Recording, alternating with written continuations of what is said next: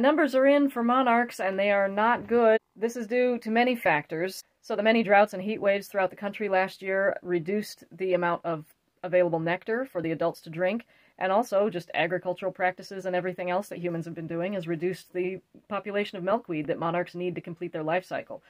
On the good note, there is something that you, individual gardeners, can do, and that is plant more milkweed.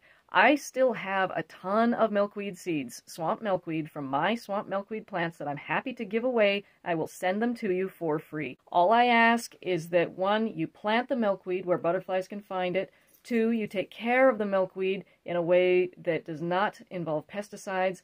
And three, I ask that you subscribe to my channel and enjoy my videos. And that's how you can pay me back for these free seeds. If you want your free seeds, shoot me an email at gardenuplandscape.com with your mailing address. I don't sell your information, I just need a place to send your seeds to.